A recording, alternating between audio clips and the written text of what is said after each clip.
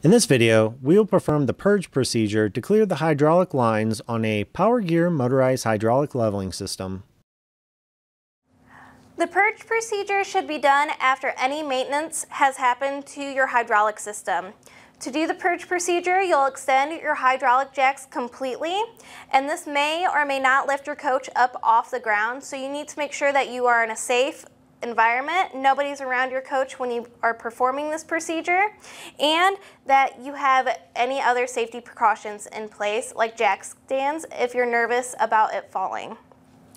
Since this is removing the air out of the lines, you've extended these jacks completely, and then you'll completely retract the jacks.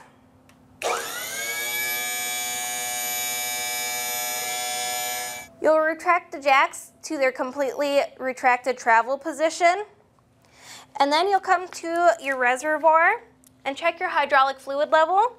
You'll refill as necessary and if there's any foam or bubbles at the top, you'll wait for those to dissipate and repeat that procedure until all of those bubbles stop occurring.